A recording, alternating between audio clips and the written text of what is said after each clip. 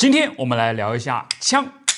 啊不不不，不是这把啊，而是历史上最为有名的马克沁机枪。要问这个世界上什么样的武器杀伤力最强，收割的亡魂最多，不是坦克，不是炸弹，甚至也不是原子弹，而是枪械。先不说恐怖分子最爱的 AK 四十七，光是二战中大量装备的自动步枪，在杀敌上面就足以击败上述那些所谓的大杀器了。而机枪则毫无疑问成为了士兵们的梦魇。对于他们而言啊，地狱大概就是突突突冒着火星的机枪口吧。撕开这道地狱口子的，正是一百多年前诞生。的马克沁重机枪，他的地位无人能级啊！马克沁机枪是世界上第一款能够靠弹药的能量自动射击的枪械。如今几乎所有的自动步枪呢，都得认它做鼻祖，而祖师爷自然就是发明它的海勒姆·马克沁了。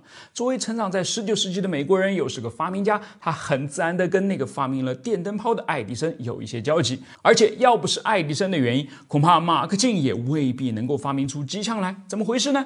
原来发明家马克沁也。发明了一种灯泡，还申请了专利，并且成立了一家电灯公司。在一八八零年，美国市政照明招标时，可是大热门之一啊！眼看着就要走上人生巅峰了，结果被资本主义商人爱迪生横插一脚，动用了一切商业手段来排挤这个强劲的对手，直到逼得马克沁卖掉自己这家刚成立不久的公司为止。阴差阳错下，马克沁决定离开美国，到战乱的欧洲另闯一片天地，兴许还能发点战争财呢。发战争财最好的方式，当然就是卖枪喽。马克沁要卖的这把枪可不一般，因为他想要卖的是一把把全世界射速最高的枪。从十九世纪开始啊，人们就在不断的追求各种提高射击速度的方法，其中最著名的就是大力出奇迹的加特林机枪了。这种采用多枪管旋转激发的长相怪异的武器，需要手动摇动手柄才能够工作，每分钟的射速达到了两百发，在美国南北战争期间造成了不小的轰动。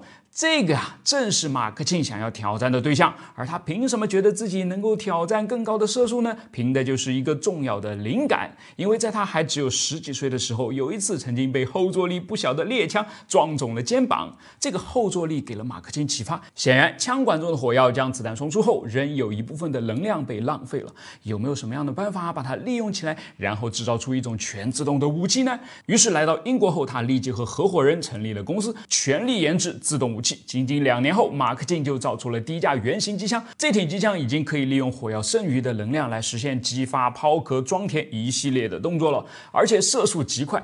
第一次装进去的六发子弹呢，不到半秒钟就突突突打光了，惊呆了前来参观的英国剑桥公爵。想让马儿跑，怎能不让马儿多吃草呢？为了解决高射速下稳定可靠的弹药供应系统，马克沁随后设计了一种可以容纳三百三十三发子弹的帆布弹链，然后又在枪管上添加了一个水冷式的散热器。保证机枪的持续射击能力，使它能够达到每分钟六百发的高射速。不得不说啊，是金子到哪儿都会发光。卖灯泡让你爱迪生给堵了，这回我卖机枪还能不发财吗？的确，马克沁机枪几乎一战成名，短时间之内就成为世界各个战场上的人民收割机。尤其是一战那场旷日持久的索姆河战役中，德军采用改进版的马克沁机枪 MG 零八死守防线，直到一百四十一天战役结束时，英法联军总共才推进了十公里多一点。而且在这场战役中，德军还应用了先进的超越射击战术，第一天就造成了英军近六万人的阵亡。所谓超超越射击战术呢，就是通过带仰角的射击，将子弹抛射至原本有效射程以外的区域，依靠密集的弹雨杀伤躲在掩体和战壕中的敌人。这种战术让马克沁机枪的杀伤范围提升至四千米。英军首日伤亡的士兵大多都是倒在了德军机枪阵地两公里开外的地方。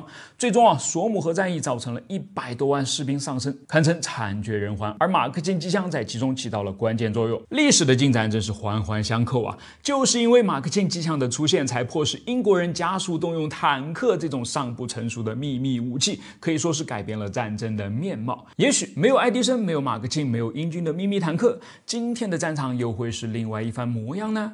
也许是吧，但马克沁的确实现了他的人生巅峰，在揣着卖机枪赚来的钱后，搞起了大型游乐设施的研究，并在英格兰建起了世界上第一座游乐场。一边是残酷的杀人机器，另一边却是温馨的欢乐工厂，这跨界谁能敌呀？